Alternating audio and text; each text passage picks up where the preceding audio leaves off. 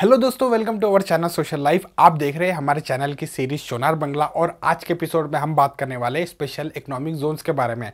दोस्तों कंट्री की economic growth को बढ़ाने के लिए एफडीआई को बूस्ट करने के लिए और ओवरऑल कनेक्टिविटी इंक्रीज करने के लिए बांग्लादेश की गवर्नमेंट ने अक्टूबर 2010 में एक एक्ट पास किया, जिसे बांग्लादेश इकोनॉमिक जोन एक्ट कहते हैं और एक पब्लिक लिमिटेड कंपनी बनाई, जिसे बांग्लादेश इकोनॉमिक जोन अथॉरिटी कहते हैं। इस कंपनी का काम यह था कि बांग्लादेश में स्पेशल इकोनॉमिक जोन्स बनाना। दोस्तों, ये special economic zones business friendly हो गए और जो भी कंपनी यहाँ पे इन्वेस्ट करेगी, उन्हें 12 साल तक टैक्स एग्जामेशन मिलेगा। इसके अलावा ये जो भी एक्सपोर्ट या इम्पोर्ट करेगी, इन्हें कोई कस्टम चार्ज भी नहीं लगेगा।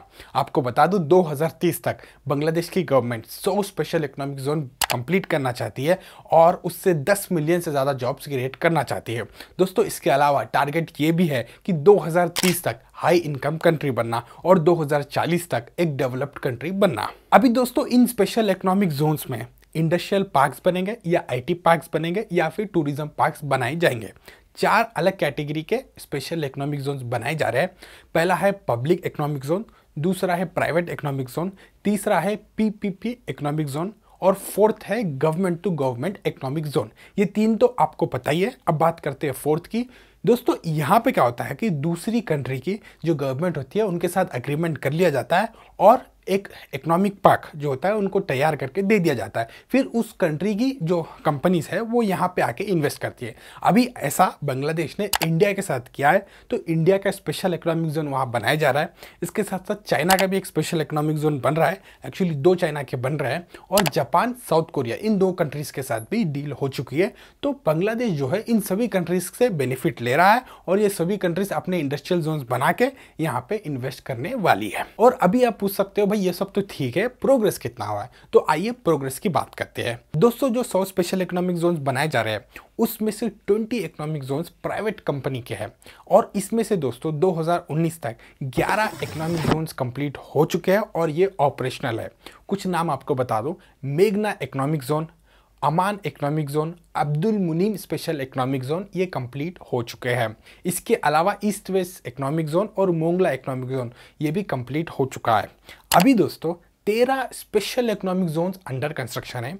ये काफ़ी बड़े हैं और पीपीपी मॉडल्स में बनाए जा रहे हैं। आपको बता दूँ, इसमें से दो फ्लैगशिप प्रोजेक्ट हैं। एक है मीरसराई स्पेशल इकोनॉमिक जोन और दूसरा है महेश खाली इकोनॉमिक जोन जिसको महेश खाली इकोनॉमिक जोन भी कहा जाता है। अभी जो मीरसराय इकोनॉमिक जोन है, ये एक्चुअली बांग्लादेश की पहली प्लान इंडस्ट्रियल सिटी में बनाया जा रहा है, जो कि है बंगाबंधु शेख मुजीब शिल्पानगर इंडस्ट्रियल सिटी दोस्तों, ये सिटी थर्टी थाउज़ेंड एकर्स की लैंड एरिया पे बनाया जा रहा है। काफ़ी बड़ा लैंड एरिया यहाँ पे बांग्लादेश की गवर्नमेंट ने जमा किया है और ये सिटी बनने के बाद बांग्लादेश के दूसरे बड़े इकोनॉमिक सेंटर्स को चैलेंज कर सकती है। और दोस्तों, इसके अलावा ये भी कहा जाता है कि ये इन्वेस्टमेंट के लिए काफ़ी अच्छी जगह है। अब उसके कुछ रीजन्स है। पहला रीज़न ये है कि वाटर वेज अवेलेबिलिटी है। यानी जो रिवर्स जाते हैं ना, पास से, वो वाटर वेज की अवेलेबिलिटी यहाँ पे है। दूसरा रीज़न ये है दोस्तों कि 70 किलोमीटर्स की रेंज में आपको एयरपोर्ट और पोर्ट दो भी मिल जाएँगे। यानी एक से दो घंटे में जो भी गुड्स यहाँ पे तैयार हो रहे हैं, वो एयरपोर्ट में या रिवर पोर्ट में पहुँच जाएँगे। और दोस्तों, तीसरा रीज़न ये है कि यहाँ पे कॉस्ट ऑफ़ लिविंग कम है। यानी जो भी कंपनी से यहाँ पे इन्वेस्ट करेगी उनको कुछ हद तक बचत हो सकती है। अभी दोस्तों टोटल 15 बिलियन यूएस डॉलर्स का इन्वेस्टमेंट आने वाले 10 साल में यहाँ पे देखने को मिल सकता है और इस सिटी से करीब 15 लाख जॉब्स क्रिएट हो सकते हैं। और जिस फ़ील्ड में यहाँ पे जॉब्स क्रिएट होने वाले हैं, वो है garments agro products leather industry motor bike assembly industry और फार्मा वगैरह वगैरह। अभी दोस्तों जो बेसिक इंफ्रास्ट्रक्चर होता है, उसी पे काम किया जा रहा है। पावर प्लांट्स को इंस्टॉल किया जा रहा है। गैस कनेक्शंस जो है, दी जा रहे हैं। जो रोड्स होते हैं, उसको बनाई जा रही है। और जो प्लॉट्स होते हैं, उनको पूरी तरीके से रेडी किया जा रहा है। सरकार का ऐसा दावा है कि 2021 दिसंबर तक जो बेसिक इंफ्रास्ट्रक्चर है, वो पूरी तरीके से कंप्लीट हो जाएगा। और कंप्लीट होने के बाद यहाँ पे हम इन्वेस्टमेंट्स देख सकते हैं दोस्तों। ऑलरेडी 37 बड़े टेक्सटाइल इंडस्ट्रीज़ ने यहाँ पे इन्वेस्ट करने की बात कह दी है। ये टोटल जो है 650 मिलियन यूएस डॉलर्स यहाँ पे इन्वेस्ट कर सकते हैं आने वाले कुछ सालों में। अब इसमें से दोस्तों, सबसे ज़्यादा इन्वेस्टमेंट जो है एपिलॉन स्टाइल करने वाली है 150 मिलियन यूएस डॉलर्स की। और इससे 4,600 जॉब्स क्रिएट होंगे।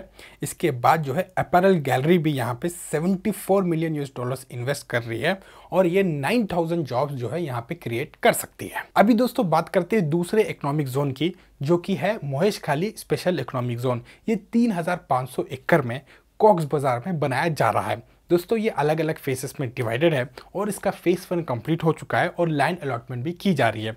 अभी दो कंपनीज़ को, एक है एसपीएल पेट्रोकेमिकल लिमिटेड दूसरी है एस गैस कोरिया इनको लैंड्स अलॉट कर दी गई है। फाइव टेन एकर्स की लैंड यहाँ पे अलॉटमेंट हुई है और ये लोग यहाँ पे अपना रिफाइनरी बनाने वाले हैं और एलपीजी टर्मिनल भी यहाँ पे बनेगा। तो दोस्तों, जो पहला फ्लैगशिप इकोनॉमिक जोन था, वो चिटागोंग में था और दूसरा जो इकोनॉमिक जोन बनाया गया है, वो कॉक्स बाज़ार में बनाया जा रहा है। तो यहाँ पे हम ये समझ सकते हैं कि बांग्लादेश की गवर्नमेंट दूसरे जो रीजन्स है, वहाँ पे इकोनॉमिक एक्टिविटी बढ़ाने के लिए यहाँ पे जो है स्पेशल इकोनॉमिक जोन बना रही है, जो कि काफ़ी अच्छी बात है। क्योंकि बांग्लादेश को अगर आगे बढ़ना है तो अपने जो दूसरे रीजन्स हैं, उनमें इकोनॉमिक एक्टिविटी को बढ़ाना होगा। खैर, अब बात करते हैं दूसरे इकोनॉमिक जोन की, जो कि है जमालपुर इकोनॉमिक जोन दोस्तों, यहाँ भी काम तेज़ी से हो रहा है। तीन हज़ार तीन सौ करोड़ रुपए यहाँ पे इन्वेस्ट कर रही है गवर्नमेंट और ये स्पेशल इकोनॉमिक जोन बना रही है। आपको बता दूँ 2020 तक इसका प्रोग्रेस 65 परसेंट कंप्लीट हुआ था, फिर 2021 जून तक 73 परसेंट कंप्लीट हो चुका है।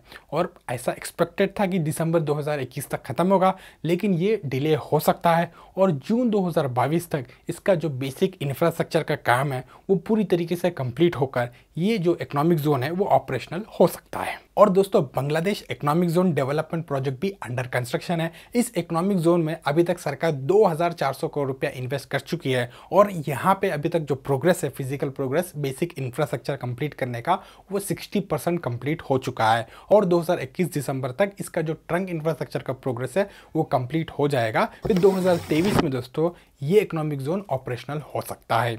इसके अलावा इंडियन इकोनॉमिक जोन जो मीर सराय में बन रहा है, वो भी दोस्तों अंडर कंस्ट्रक्शन है। इसके लिए लाइन एक्वायर कर ली गई है और अभी फ़िज़िकल प्रोग्रेस पे काम हो रहा है। जून 2021 तक सिर्फ़ चार परसेंट प्रोग्रेस कंप्लीट हुआ है। दोस्तों, ये रिसेंटली स्टार्ट हुआ है तो इसको बनने में और समय लग सकता है। दोस्तों, इन इकोनॉमिक जोन को बनाने का खर्च फिफ्टी बिलियन यूएस डॉलर्स है। इसमें से कुछ पैसे सरकार इन्वेस्ट कर रही है तो कुछ पैसे दोस्तों दूसरे गवर्नमेंट से लोन ले रही है। जैसे कि इंडिया हो गया चाइना होगा, जापान होगा और इसके अलावा पीपीपी मॉडल के थ्रू भी यहाँ पे काम किया जा रहा है। और आपको बता दूँ कि जो इकोनॉमिक ग्रोथ हम रिसेंटली देख रहे हैं, उसका एक रीजन ये इकोनॉमिक जोन्स भी है। और आने वाले समय में दोस्तों, इस इकोनॉमिक जोन्स के कारण जो जीडीपी ग्रोथ है, उस पर भी पॉजिटिवली इंपैक्ट हो सकता है। तो दोस्तों, इन इकोनॉमिक जोन्स के बारे में अगर आप और डिटेल में समझना चाहते हो तो हम इसका पार्ट टू वीडियो भी बना सकते हैं। क्योंकि ये टॉपिक बहुत ही डीप है, इसलिए हमने बस ओवरव्यू आपके सामने प्रेजेंट किया। बस इस वीडियो में इतना ही। ये टॉपिक के बारे में आप क्या सोचते हो और आपको ये वीडियो कैसा लगा, नीचे कमेंट में हमें ज़रूर बताना। वीडियो अच्छा लगा तो लाइक कर दीजिए। अगर आपने हमारे चैनल को सब्सक्राइब नहीं किया तो क्या कर रहे हो भाई? चैनल को सब्सक्राइब कर लो और नेक्स्ट किस टॉपिक पर वीडियो देखना चाहते हो वो भी कमेंट में ज़रूर बताना। हमारा वीडियो देखने के लिए बहुत बहुत धन्यवाद। Thank you.